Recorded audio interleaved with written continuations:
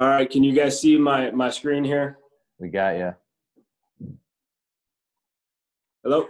Yep, You you're got good me? to Yep, you're good to go. All right, so um, just want to hit obviously uh, Jim Leonhard, defensive coordinator and the defensive backs coach at Wisconsin. So many, most of you know my bio, um, but I'm excited to talk to you guys. Uh, obviously, a unique situation here as far as where we're at um, in our off seasons. Um, I think the the college level is probably in panic mode more than anybody else, especially Division One level high school, you guys are used to to not seeing your athletes for significant stretches of time, um, especially if you're not involved in, in other sports. And Division three level, this is every year for you guys. So I think the, the Division one level, the, the ch- challenge is getting good information in, in these situations. And just uh, a heads up a little bit, I, I feel bad following those two guys because they're obviously uh, extremely good at clinics and, and doing what they do um, I usually avoid them like the plague. You know, I, I my philosophy, I guess, on football and and scheme especially is it is it is truly a system. It is truly a, a all-encompassing plan. So to go on for for 15, 20, 30 minutes on on scheme, I feel like is is very superficial and, and you don't get very far. So what I'm going to hit on today is a little bit of my kind of core beliefs in in coaching and life. I think it translates really well, and try to to me that that really gets to your non-negotiables, right? It's what do what do you push every day with your players? What do you demand of your players every day? Um, what what are the expectations of that group that they know they're clear, they're consistent, um, and then off of that, um, I want to to just hit man coverage a little bit, which stealing from Randy Moss, if if the quarterback holds the ball or throws the ball long enough, everything turns into man coverage. So I think that applies to to every coach at every level, um, putting a defense together. And you know, I, I'm glad to to go after these first two presenters because I know simplicity is what they do, and trying to make complex things uh, come across um, in a very very easy manner and and seem like anyone can do it uh, effectively. I, I, definitely fall along those lines. Um, so just going on to to core beliefs a little bit best quote i probably took from my football career as far as coaching goes that i've implemented into my coaching is is Rex Ryan, which he may have stolen from somebody else. I'll give him credit. Um, football is a simple game complicated by coaches. We really can make this game a lot bigger than it is. Now, it is a very intricate game at the highest levels. Um, there is a lot of detail. Uh, do not get me wrong, but I think there's a lot of times where we try to make the game more complicated than it needs to be because it, it always comes back to those finer details and, and what we do.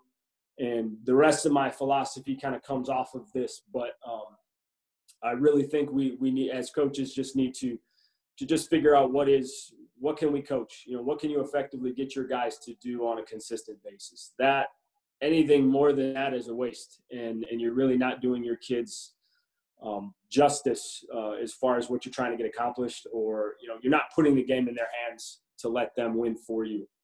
So, first core belief for myself is is consistency and creating consistency.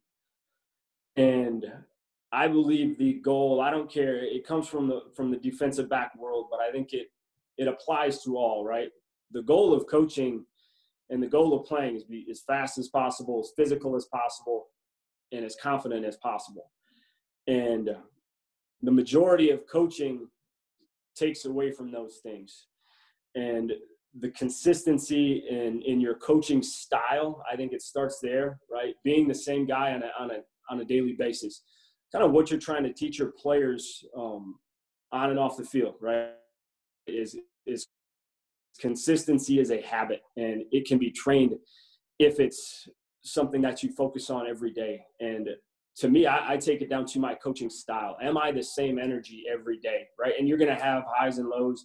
I'm not trying to say I'm a monotone type of guy, but um, as far as your approach and how you how you handle your players on a day-to-day basis is it consistent do they know what to expect uh, therefore when you're out of character a little bit it catches their attention um, i think one of the things i hate is is when coaches are around me that that i see on game day are different guys from an energy level from a nervous standpoint um, maybe from a communication standpoint you, you name it when they're not consistent on game day with what you see the rest of the week, um, that's a big, you know, big pet peeve of mine. Uh, teaching progression, just how you give your information to your players on a daily basis, and you know, from from an off season all the way through the season, just what your progression is to get them to learn a skill, to get them to learn a defense, um, is it consistent? Do they know what to expect? I think guys feel comfort in that, and and then you're you're providing ways to be flexible with that to um, so they don't get in a comfort zone. They don't always know what to expect, but I think you have to have a progression in order to to change that. Um, terminology, I would say our big thing right now um, with this extended time that we're given um, I've talked to a lot of coaches. Uh, I've seen a lot of people handling this situation differently. Um, a lot of clinics, um, a lot of new information coming in.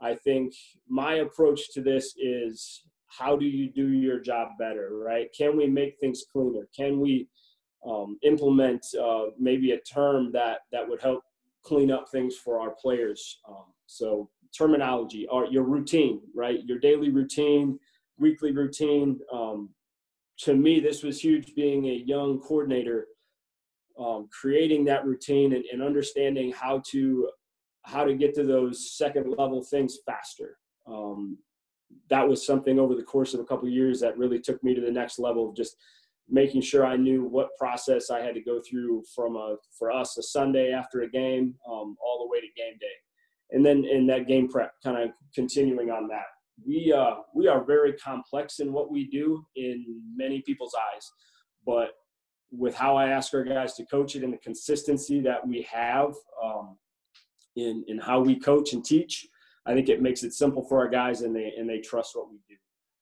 Second core belief going on here would be efficiency.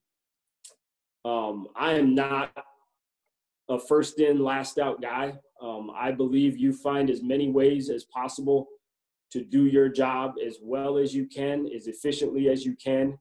And I don't say that to be lazy. I say that because you're always challenging yourself to do things better. If you're not with your players, um, you better be finding ways to get yourself to be a better coach, for you to be a better communicator, um, for you to relay information to your players in a more efficient manner. Um, to me, otherwise you're you're you're wasting um, valuable time. So the challenge this offseason for our guys in this process is just how can you get your players better faster, right? Um, all this online learning and you know there's so many things out there right now that that we're forced to use, and I think we're all going to be better off for it in the long run. Flexibility is the next thing, and, and that kind of comes with the complexity of what we do. Um, for those of you that don't know, our base defense is a tight, tight front. Um, our nickel defense is a four down, over, under front, however you want to look at it. Um, we implement both, and it is a very sound scheme, but there is a ton of flexibility in what we do. Um, our guys understand the base concepts of what we're going to ask them to do, the complexity comes from being almost polar, polar opposite as far as the fronts and what a team has to prepare for. Um, but the biggest thing that that we do as a staff and as a defense, um, we we build in a, a ton of flexibility for the most complex of, of problems that you're going to see from an offense. Whether that is a specific run game, um, whether it's it's issues in the pass game and how teams attack you, um, whether it's the tempo, um, all those things that you see as the most complex issues that you're going to face week in and week out from from your film study that is where we build in the most flexibility within our scheme therefore we get to what i would say is less calls and more which we found calms our guys down. We, we can teach the basis of what we do. Um, we can teach all of the finer details and get very, very detailed and then have minor adjustments to what we do rather than having just more on top of more on top of more as far as schemes and calls and, and assignments for guys. So that is our challenge week in and week out is to make things as tight as possible. And, you know, a lot of coaches who I've met with and sat down with, it's almost the opposite. It's start with everything and, and shrink it down. I'd say we start with almost bare bones and then just add to a game plan based on what the issues we're going to see, um, based on how um, we can dictate, right? I never want to be a counter puncher. I always want us to have things in our game plan that we can dictate the flow to an offense. You know, you need these offenses to to have to go over to the sideline and and find an answer. And the more flexibility you have within your scheme, and the more ways that you have to be that um, throwing that jab or, or, or throwing some of those uppercuts on them, then they have to go make adjustments and not just uh, attack, which is what they all want to do. Um, and then I think this is where I want to start a petition as far as number four. This this one is probably my biggest pet fee, pet peeve in football, and I really felt it as a player, and and now as a coach, it's something I really push with our guys. And the way I have it written is is response versus opportunity to grow.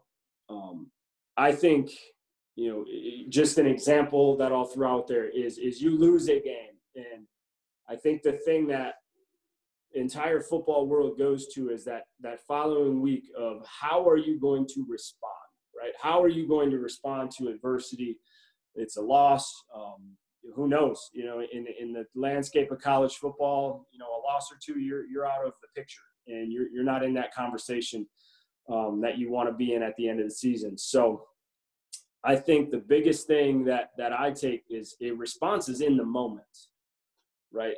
You have one opportunity for a response, and, that is, you know, you'd say as a defensive back, you give up a touchdown, right?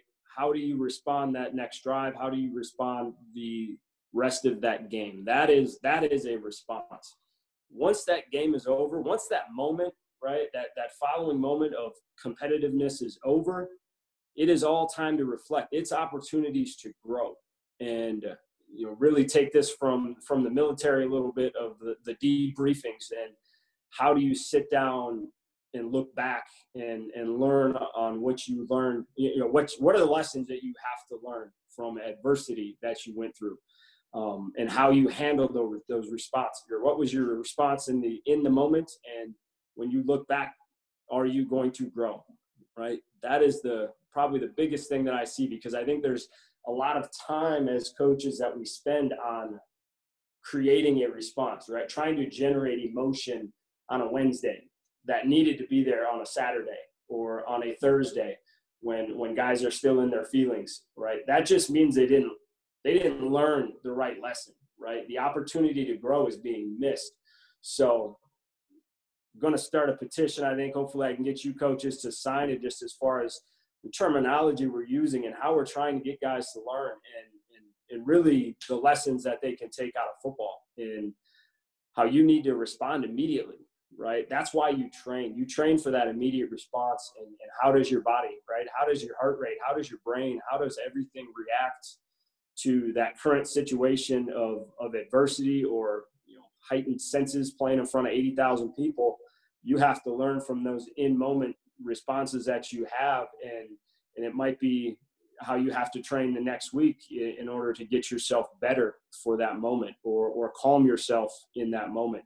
So you really have to take advantage of those of those times to reflect and and grow and then put them into play as you go on. So I would say, you know, young in my coaching career, these are the things that are most important to me to really get across to our players. And I think our guys have resp- um, responded really well. They know what to expect. Um, I think they are learning how to to learn uh, to to think for themselves. Um, becoming adaptable as a player is extremely invaluable. There there are a million scenarios that can come up on the football field. And as coaches, you try to expose players to as much as possible, knowing that you're you're outside of the white lines on on game day, and you're counting on guys to to step up and, and respond in positive ways. So you have to give them room to grow. You have to give them room to think, and you hope that when you step in and and really drive home your core beliefs and sitting back from that 30,000 feet view of, of watching these guys and how they respond. And that's how I try to get my guys better a little bit in that less is more.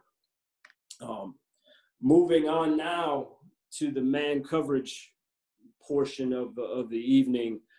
Like I said, everything to me can into man coverage, right? Everything can can eventually get there. So this to me is the one thing as far as a defensive back perspective that can be applied um, to what we do uh, as coaches on the defensive side of the ball in, in the coverage. And I think the biggest thing to take away is once again the simplicity. Um, fast, confident, and physical is always the goal. So every coaching point that I give these guys, right, you're trying to balance those three things and trying to keep it as simple as possible for our guys. Not going to tell you guys where to align with your corners, right? Press. Am I inside? Am I head up? Am I outside? Everyone has different reasons for doing one or the other, and that's okay, right? Depth off the ball and press is going to vary too much in a, in a small amount of time to to teach, right? most teams are playing some sort of leverage, right? As long as you have your reasonings for playing it week to week, you're in good shape. To me, the biggest thing we try to get our corners and safeties to understand is what is a winning position first and foremost, right? And for us, we talk three different positions. We talk high shoulder, which is a position where I'm on top of the receiver. I cannot touch him, right? So I'm in a position where I'm thinking I'm going to win with my feet right? It's it's eyes and feet at this point, and I'm truly trying to be far enough away where I can read this receiver, right? I can see his mannerisms, how his shoulders are turning. Does he look back? Is he is he digging right? Is he is he trying to get on top of me? Um, but it's eyes and first and foremost, and trusting that I have to cover a little ground. I got to get out of a break. Well, when do we use this situation? We, we use it a little bit more in quarters coverage when they don't have post help right? We use this, the other situation is versus outside releases, right? We talk about getting high or top shoulder versus outside releases because you have no help, right? The post player can't get there. Every once in a while, that post player is going to show up if you got a great one, but you cannot count on it, right? So high shoulder is a position we talk in certain coverages and, and certain areas on the field. Top shoulder, now I can put my hand on his chest, right? He has to run through me if he's trying to run a go route. And in that position for us is, is used a ton. That is the other position that we talk about in quarters and outside releases because you're running out of help, right? You got to take care of yourself. You have to be your own help. You have to use the sideline and help run a receiver off his line in that position. And then getting to the hip, right? I'm talking probably eyes on top, maybe my head, my shoulders just on top of his hip but I want to be in, in, in almost even or my hip slightly beneath below his hip.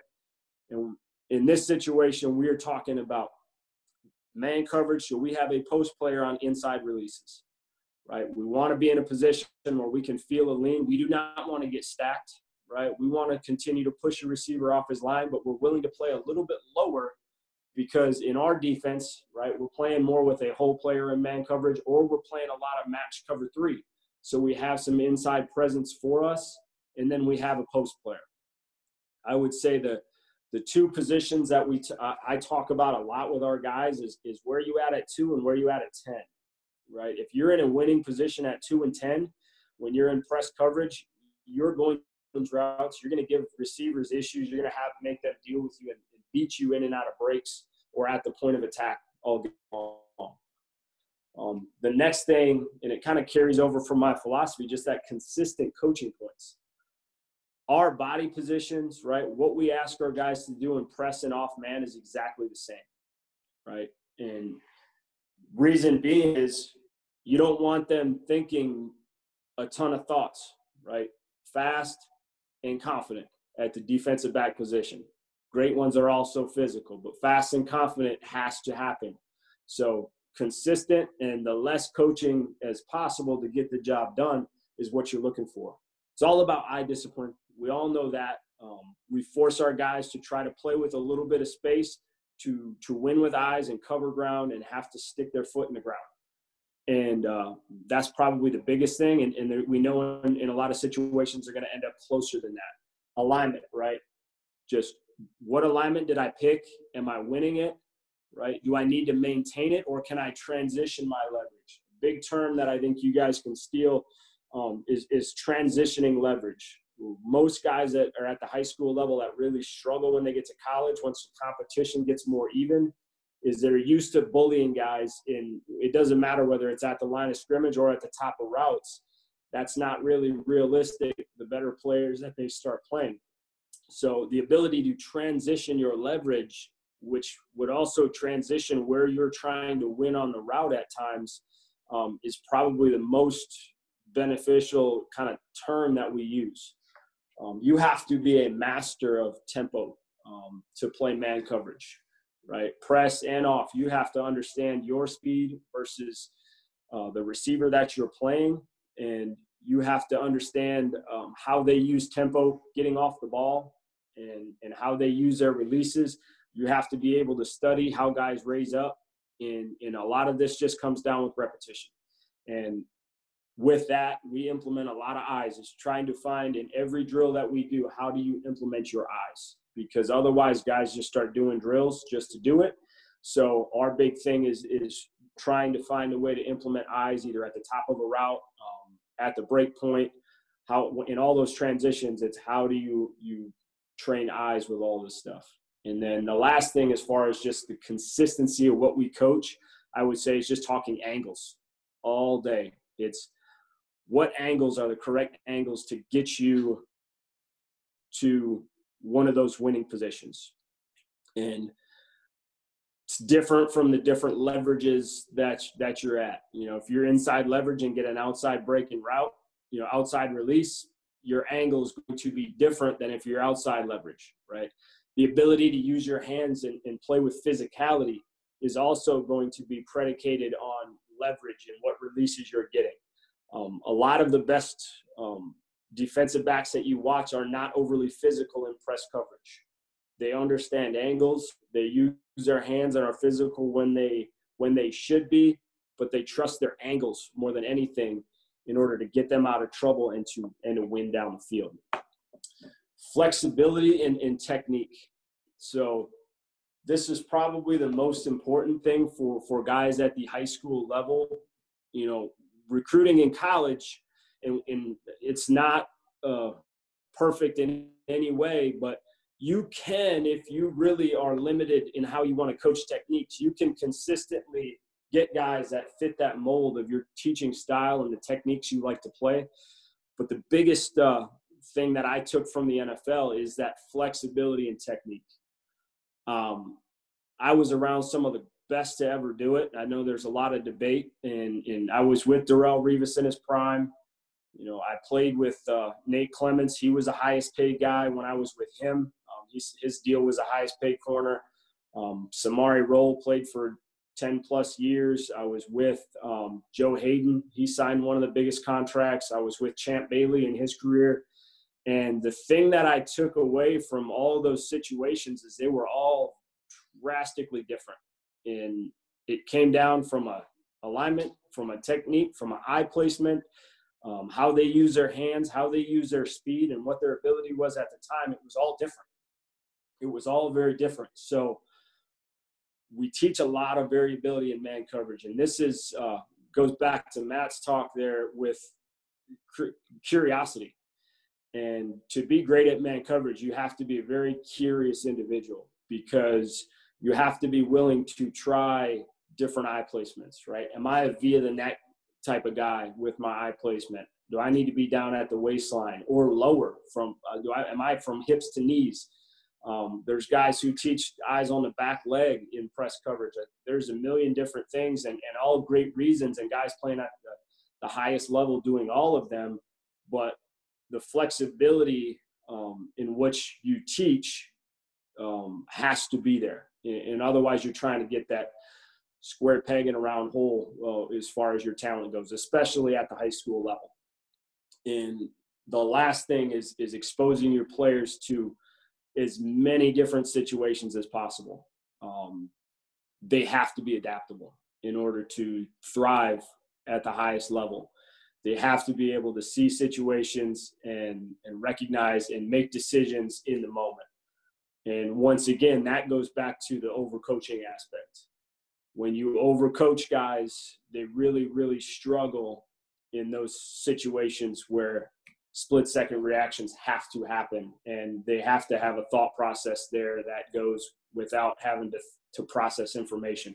So being as adaptable as you can within your drills and within your practices to to make guys get into awkward positions and and find ways out of it right? You talk about winning positions. Well what do you do when you're not in them how do you regain it when you're three, four, five yards away from where you need to be. You know, those are a lot of the situations that we talk about with our guys because it comes up in every game. You cannot avoid it. I don't care how good you are. There's going to be situations that come up that you you have to have that flexibility and adaptability in order to to dig yourself out of a, a tough situation at times. So that is what I have for you guys. Um, just want you guys to know I'm, I'm more than welcome to to work with Drew here and, and try to get something set up on a smaller scale.